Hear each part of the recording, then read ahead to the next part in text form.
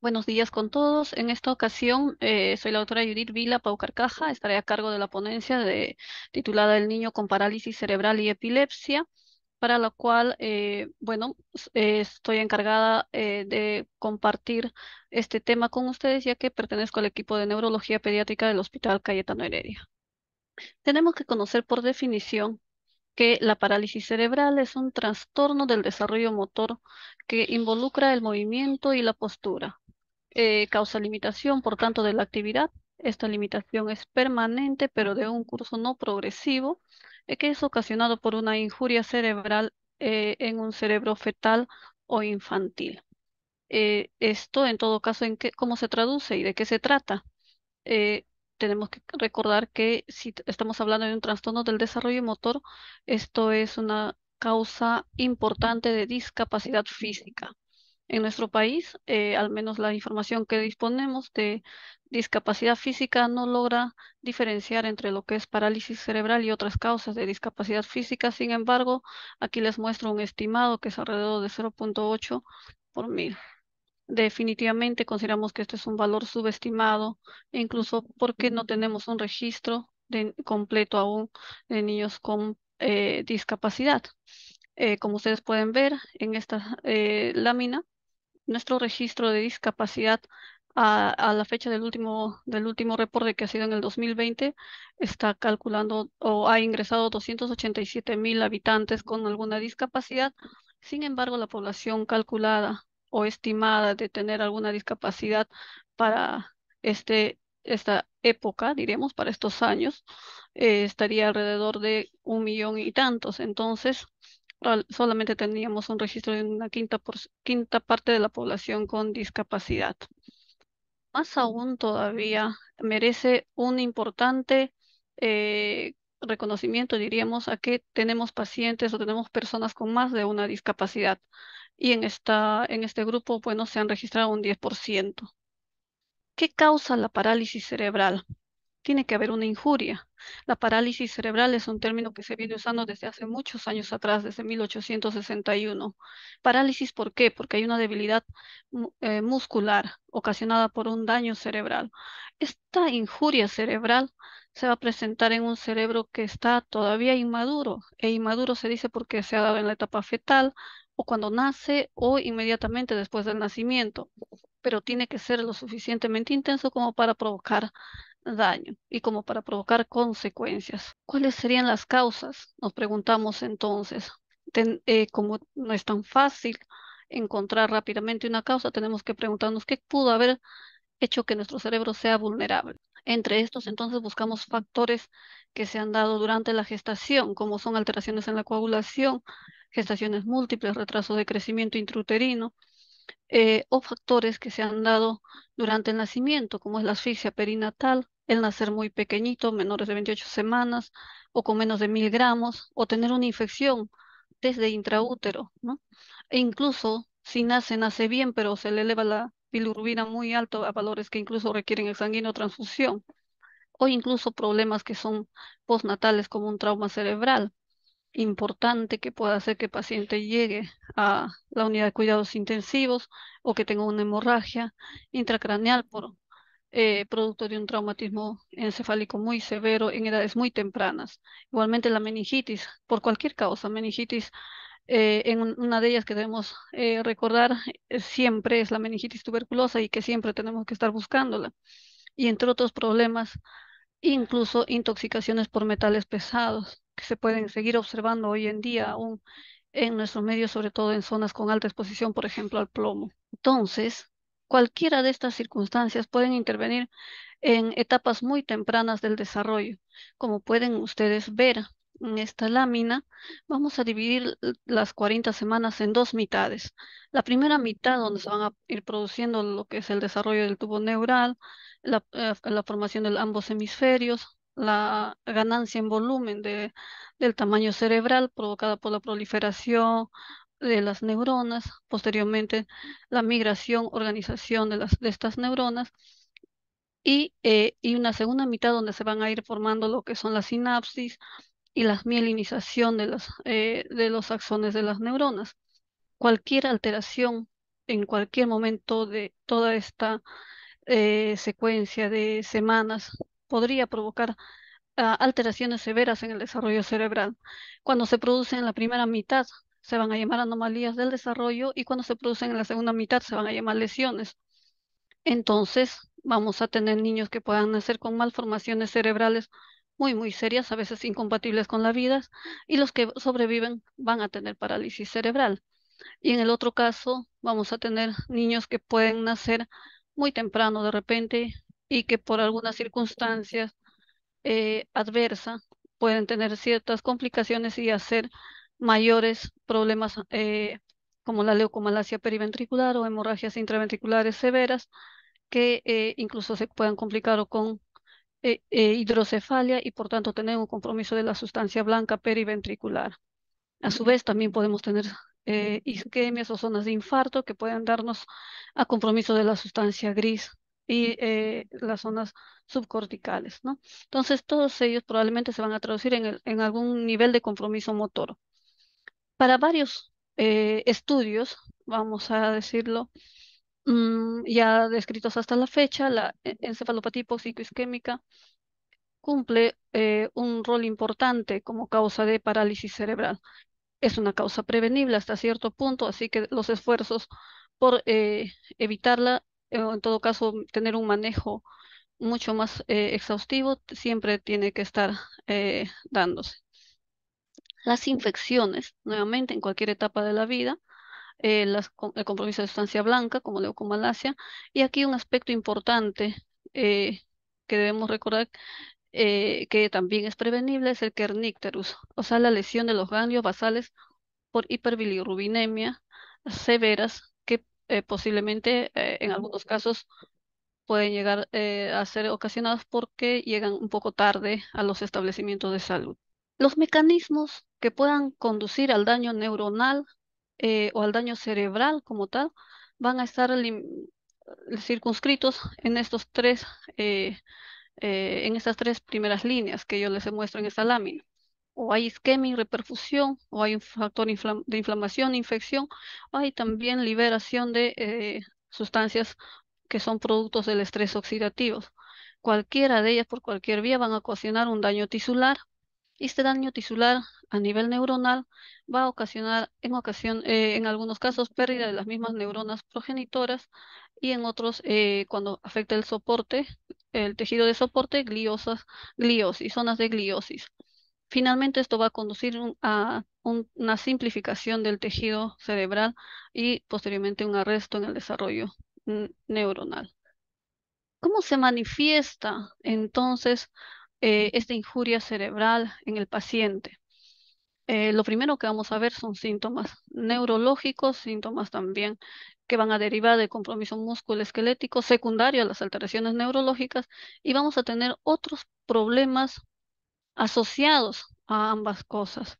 Entonces, dentro de los signos neurológicos vamos a tener la debilidad muscular, la hipertonía o alteraciones del tono muscular como hipotonía también o distonías, problemas en el balance o equilibrio, la pérdida del control selectivo se refiere al uso exclusivo de algún hemicuerpo o una parte eh, o que tengamos cierta predominancia en algún en el uso, por ejemplo, de la mano, podría ser eh, a temprana edad, cuando uno empieza a usar la mano derecha, por ejemplo, cuando es muy, muy pequeñito, antes de los dos años o cinco años, entonces uno diría, este niño eh, ya está siendo diestro cuando todavía no es el momento a veces de definir esta lateralidad, laterabilidad. Algunas manifestaciones musculoesqueléticas que van a acompañar producto de las posturas anormales van a ser contracciones musculares o deformidades óseas como son escoliosis o luxaciones congénitas de cadera y son secundarios las alteraciones neurológicas que ya son producto del daño cerebral. Eh, cuanto más severo es la condición clínica del paciente, probablemente vamos a tener más condiciones asociadas, más problemas asociados, como la discapacidad intelectual, la epilepsia, las deficiencias de agudeza visual, deficiencias eh, auditivas como hipoacusia, sordera, problemas del lenguaje que van desde simples dislalias, disartrias, espasmofemias, cualquier variedad, en realidad, Aquí, eh, otro, entre otros problemas eh, importantes y que siempre eh, observamos, sobre todo en los pacientes que son más severos, tenemos a las dificultades en la deglución y secundario a ello problemas nutricionales, problemas respiratorios, neumonías recurrentes, por ejemplo, las caries, las alteraciones en, las, en el esmalte dental, en las encías también, producto de a veces el uso de o la dificultad en la higiene misma o incluso la combinación de medicamentos que van a ir usando, eh, la incontinencia, etcétera. Entonces, en realidad es un abanico grande de síntomas eh, clínicos que este paciente va a ir presentando y tenemos que ir buscándolos. Cada uno es diferente, como podrán ver, porque también cada, en cada niño se va a presentar la severidad desde eh, o la severidad que se presenta en cada niño va a ser variable. Entonces, para observar algunas imágenes, podemos ver acá algunos signos de parálisis cerebral, como es la hipertonía, en este caso eh, como espasticidad, donde el niño tiene una postura en hiperextensión dorsal con la rotación interna del brazo. En general, en una postura en opistótono se llama, que también eh, se ha asociado mucho con el flujo gastroesofágico y este niñito tenía ambas condiciones. En este caso, eh, la postura en flexión de miembros de brazos, generalmente ellos tienden a tener esa eh, postura de forma preferente porque hay espasticidad y entonces al extender el brazo genera cierta resistencia que luego, si bien es cierto, se logra vencer, pero al dejarla en reposo nuevamente retorna a la posición que ustedes están viendo. Y cuando nosotros observamos aquí en, este niño que está, que ha logrado sentarse, por ejemplo, eh, la postura en el brazo izquierdo, eh, donde muestra un, un dedito pulgar ahí cautivo o atrapado, y también es porque este brazo está más espástico probablemente. Entre otros signos que buscamos es, por ejemplo, este, la persistencia de los reflejos, del reflejo tónico cervical asimétrico. Este reflejo, eh, donde tiene un brazo flexionado y el otro extendido ah, en relación a, la, a los cambios de posición incluso cefálica, eh, debería desaparecer tempranamente en la etapa de lactante. Sin embargo, cuando persiste a edades mayores, esto nos indica que eh, pues se ha, quedado detenido por en alguna parte del desarrollo, ¿no es cierto? Y en esta otra imagen, este es un reflejo, que el reflejo del andado, que es normal, ¿no? Que normalmente cuando se aproxima hacia adelante el niño debe extender los brazos, pero podemos encontrar o no encontrarlo y estar ausente en pacientes con parálisis cerebral. Hasta este momento, entonces, lo que podemos eh, decir es que el diagnóstico que requiere es una historia clínica muy detallada. En una primera evaluación, probablemente si obtenemos bien los datos, tanto de factores de riesgo, de su desarrollo psicomotor, de si hay alteraciones acompañantes, de cómo están sus habilidades en otras áreas, vale decir la parte cognitiva, la parte del lenguaje, ya tendremos una idea de, lo que está presentando el niño si eso complementamos con una buena evaluación física que involucra todo lo que es el sistema eh, neurológico, el área musculoesquelética y la, la, parte funcional, probablemente ya tengamos un diagnóstico. El diagnóstico de parálisis cerebral netamente es clínico. Sin embargo, se acompaña de, eh, o en unas ocasiones requiere el uso de imágenes para eh, verificar la zona de lesión, para ver probablemente qué predominio eh, de compromiso, diríamos sea cortical o subcortical, es lo que presenta en las imágenes y si eso está acorde o no acorde con la etiología propuesta. Ya con la historia clínica nosotros vamos a tener una, una, una posibilidad de eh, etiología o causa de la parálisis cerebral. Si no la tenemos, sí tenemos que buscarla con mayor ahínco. La clasificación de niños con parálisis cerebral va a ser dependiendo de la alteración del tono, del tono muscular, dependiendo de la alteración del control de movimientos o de la postura. Entonces, si está afectado el tono muscular, se llama parálisis cerebral espástica, si está afectado el movimiento, es disquinética, o si está afectada la postura y el niño está que no mantiene la postura y que se va de un lado al otro tambaleando, se llama parálisis cerebral atáxica, pero también puede existir una mezcla entre ambas, entre dos o tres, dos condiciones básicamente, y se llama parálisis cerebral mixta. Cuando existe una mezcla entre una, dos o condiciones, probablemente la discapacidad sea mayor. Entonces, eh, en función de las características clínicas de la alteración del tono muscular o del movimiento de la postura, tenemos eh, que vamos a poder definir si es una parálisis cerebral espástica o cualquiera de ellas. Y a su vez la parálisis cerebral espástica también va a eh, determinarse según eh, la región corporal afectada, si es diplégica, hemiplégica o cuadriplégica. Aquí, por ejemplo, veremos un ejemplo de parálisis cerebral espástica de tipo cuadripléjico, donde tenemos afección de sustancia blanca subcortical y tenemos compromiso tanto de miembros superiores y de miembros inferiores. En este otro caso tenemos una parálisis cerebral espástica de tipo dipléjico, donde la lesión predominante es a nivel subcortical, eh, periventricular, básicamente una lesión de sustancia blanca periventricular, y se ven afectados también, es cierto, miembros, miembros superiores, miembros inferiores, pero el predominio de la afección es mayor a nivel de miembros inferiores. También eh, podemos tener una parálisis cerebral espástica post un stroke isquémico o hemorrágico, ¿no?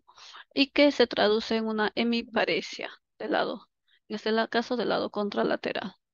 El lado izquierdo eh, mantiene el tono, la fuerza, la postura adecuada, pero el lado derecho no. Tenemos, eh, cuando hablamos de parálisis cerebral disquinética, el, el, ejemplo clásico es el compromiso de ganglios basales por hiperbilirrubinemia indirecta, y en este caso tenemos las alteraciones del movimiento. Las, eh, el paciente y son las disquinesias que va a presentar el paciente y que no permiten mantener un, un movimiento adecuado. La parálisis cerebral atáxica es una, en una mínima proporción cuando la zona de lesión afectada es el cerebelo y entonces el paciente no mantiene el equilibrio adecuadamente. se va a ir, se va a ir hacia uno u otro lado y es un paciente hipotónico.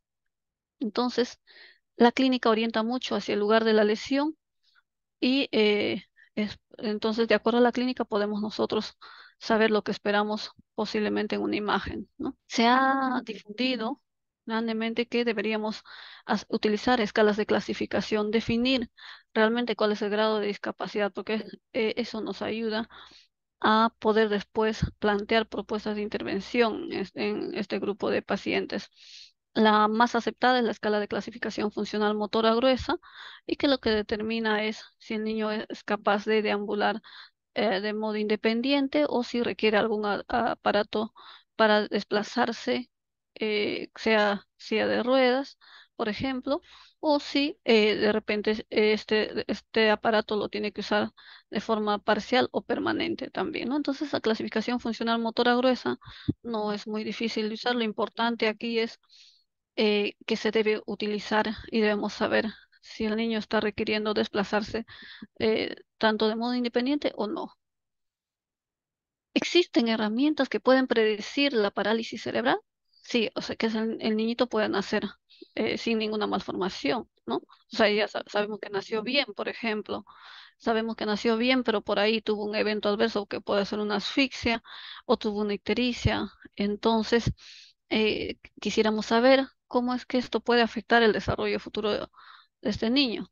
Y para eso tenemos herramientas que son el análisis de movimientos generales. Actualmente para eso es, muy sencillo disponer de una eh, cámara. Muchas veces tenemos a la mano lo que es el celular y hacemos una grabación corta de unos dos o tres minutos y nos permite observar cómo el niño se desplaza eh, en un estado de eh, en el cual se encuentre tranquilo sin interferencia de lo que haga el examinador.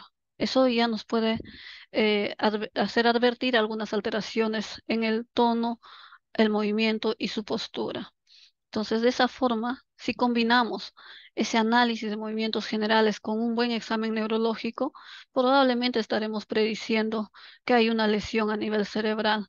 Y si hacemos una resonancia, probablemente incrementemos el, ligeramente no es, eh, es cierto que no es que la resonancia cerebral sea exclusivamente necesaria para hacer el diagnóstico, pero lo que no uh, sirve es por, probablemente para identificar las zonas de lesión que estemos sospechando durante la evaluación clínica y con todo ello vamos a poder decir si es que tenemos a un niñito que muy probablemente sí va a tener una parálisis cerebral. Esto es útil porque nos va a permitir intervenir precozmente. La parálisis cerebral también tenemos que reconocerla como una entidad en la cual no, no viene sola, viene con problemas que tienen que ver eh, con el compromiso de otras áreas, la parte de las emociones, por ejemplo, hay niños que se ponen muy ansiosos o con angustia, la parte cognitiva, eh, alteraciones de conducta, alteraciones del lenguaje y una condición importante es la epilepsia. La epilepsia ya de por sí, debemos también recordar que es una condición muy, muy frecuente en países como el nuestro. Según esta prevalencia de niños eh, con epilepsia, eh, que también es una prevalencia, o sea, por debajo de lo que realmente se espera, estamos alrededor de 0.5% de pacientes con epilepsia que tenemos viviendo, ¿no? O sea, esa es la prevalencia de pacientes con epilepsia idiopática, es decir, sin una causa identificable para la época en la cual se hizo eh, el análisis. ¿no? Estamos hablando del 2016. Sin embargo, eh, recientemente se ha publicado también con algunos datos eh, de estudios que han, que han reportado los casos de epilepsia en pacientes con PC y se ha visto que la epilepsia en pacientes con PC eh, también es bastante alta en países como el nuestro, toda la región o en la región, ¿no? Vean ustedes que en la región en general la prevalencia de epilepsia en pacientes con parálisis cerebral es bastante alta, casi cercana al 50%. Muchos de ellos, eh, de hecho, son datos extrapolados de, eh, de estudios pequeños o de estudios poblacionales y entonces se ha inferido la información en algunos casos a toda la región. En el Hospital Cayetano Heredia también eh, hicimos una evaluación de esta condición, de qué, cómo les eran las características de los pacientes que acudían a la consulta, eh, los pacientes que tenían parálisis cerebral y que acudían a la consulta. Y observamos que un buen grupo tiene tanto parálisis cerebral, epilepsia y discapacidad intelectual. Y si solo quitamos lo que es la discapacidad intelectual, la proporción de pacientes con parálisis cerebral y epilepsia probablemente alcance al 60%. En realidad, esta es una institución en la cual se brinda tratamiento para epilepsia y probablemente por eso agrupamos una buena población con condiciones, eh, diríamos, de, eh, delicadas que requieren un manejo continuo, ¿no? Eh, sin embargo, no, logramos ver eh, en su totalidad los casos leves de parálisis cerebral, porque probablemente tampoco es que asistan con regularidad al, consultorio de neurología pediátrica. En cuanto al diagnóstico, sirve esta lámina también para decirle que nuestra edad de diagnóstico para nosotros todavía es un poco tardía. Eh, se retrasa mucho el acudir a definir esta condición entonces, lo que se propone eh, en el mundo, lo que se propone cada vez es un diagnóstico mucho más temprano, antes de los dos años sería ideal, porque eh, tenemos una ventana de oportunidad para mejora de las habilidades motoras y cognitivas. La epilepsia es igual que en otro grupo eh, de poblaciones, se presenta por crisis que son recurrentes, que no son provocadas, y que se deben probablemente a una descarga anormal a nivel cerebral. Eh, cuando se la define pueden ser crisis focales, es decir, aquellas que empiezan en una zona del cerebro y, posteriormente pueden migrar a otra zona o quedarse en esa misma zona, o también crisis generalizadas que pueden aparecer en dos zonas o distribuirse rápidamente ah, en ambas regiones en el cerebro, eh, de tal forma que eh, se presentan con clínica en ambas en ambos semicuerpos. La clínica puede ser eh, motora, ¿no? O sea, con sacudidas o contracciones musculares, con alteración completa o parcial del nivel de conciencia en algunos casos, y también eh, con no solo síntomas que sean motores, ¿no? También síntomas sensoriales, alteraciones en la percepción, también acompañan a, los síntomas de pacientes con crisis epiléptica. Si vemos esta lámina, ah, podemos ver que por ejemplo, las crisis epilépticas en los niños que presentan parálisis cerebral y que la parálisis cerebral es por eh, una malformación cerebral, eh, puede estar presente desde muy temprana edad. Las crisis pueden presentarse desde muy chiquitos. Cuanto más severa es la condición, la malformación cerebral, las crisis se presentan muy tempranamente y la forma de manifestación clínica probablemente eh, sea una encefalopatía epiléptica o inclusive eh, hasta síndrome de Lennox-Gastaut posteriormente, o sea, encefalopatías epilépticas que van a ser eh, refractarias muchas veces al tratamiento. Las crisis pueden ser bilaterales. Y eh, también las malformaciones probablemente en estos casos sean mucho más amplias que en los otros casos. Así, las crisis pueden presentarse en cualquier grupo etario, o sea, la parálisis cerebral. El niño con parálisis cerebral de cualquier causa podría tener crisis epilépticas, algunos más que otros, efectivamente, sobre todo los casos más severos como acabo de mencionarles, y probablemente eh, también tengan discapacidad intelectual asociada. Como se puede observar, casi 75% de esta población eh, amplia mostró discapacidad intelectual severa y por otra parte, eh, aquellos que tuvieron epilepsias, generalmente eran aquellos que tenían una presentación de parálisis cerebral eh, tipo cuadripléjico, ¿no? Una parálisis cerebral espástica cuadripléjica. O sea, nuevamente la condición en que el paciente está postrado eh, o que tiene muchas dificultades para la movilización y que tiene discapacidad intelectual, probablemente también tenga epilepsia. Eh, la respuesta al tratamiento es similar que en otros grupos, que en el paciente que no tenga parálisis cerebral. Con un fármaco se puede lograr el control de las crisis hasta en un 50% de los casos, quizás 55% en este caso, en este estudio, por ejemplo, y ah, en ocasiones se van a requerir dos o más fármacos antiepilépticos. Siempre en ellos debemos considerar que existen igualmente efectos adversos del, del fármacos antiepilépticos existen otras opciones también de tratamiento, como viene a ser la dieta cetogénica, estimulador del nervio vago o incluso cirugía de epilepsia, pero que cada caso se va, eh, se va a ser evaluado de forma individual. Antes de eh, concluir, debemos decir que los niños con parálisis cerebral, si bien es cierto, eh, pueden llamar la atención a la vista rápidamente si es un niño con una discapacidad severa. Sin embargo, esa condición debe hacernos siempre tener presente que existen otros desórdenes que son progresivos y que pueden imitar una parálisis cerebral. Por tanto, siempre en la evaluación tenemos presente otras las enfermedades raras o enfermedades huérfanas eh, que, de las que escuchamos y que puedan causar desórdenes motores progresivos, lentamente progresivos, o enfermedades neuromusculares también, incluso hasta intoxicación por metales pesados.